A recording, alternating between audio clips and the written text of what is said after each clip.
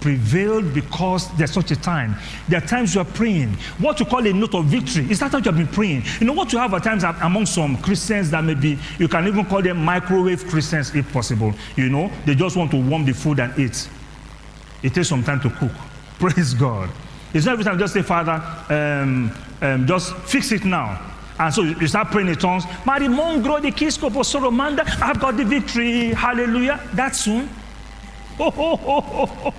You just press button and the victory comes. No, it's not like that. There are times you are through praying today, tomorrow night you will continue. Because the matter goes beyond your personal area of jurisdiction. There are people involved in this matter. They have their will, they have their choices, they have their decisions. And this matter is going to favor you and God's righteous cause, maybe in your life, in a nation, in a city, on a job, in an organization. So it's not just that I just in tongues, man, mongronic and some people's tongues. Oh, you get concerned. Man, no tongue, no The tongue is through the nose. No comprehend. Oh, the no